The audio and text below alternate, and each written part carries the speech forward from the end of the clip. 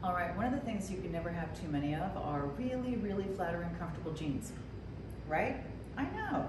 So these are super comfortable and super flattering. I like the fact that these are kind of an in-between jean. So if you're saying, hmm, the skinnies are a little too skinny, the relaxed are a little too relaxed. In my opinion, these are the in-between. So this is a jean that's going to size like a relaxed jean. I went down a size on these.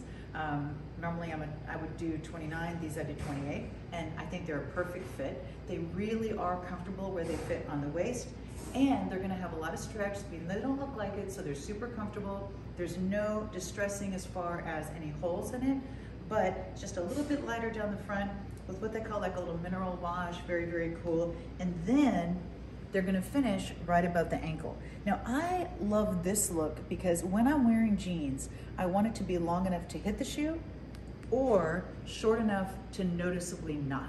You know what I'm saying? I want it to look like I'm intentionally putting that pant on with this shoe. So I love these with loafers. I think they're fabulous. I love them with boots, but if they're a taller boot.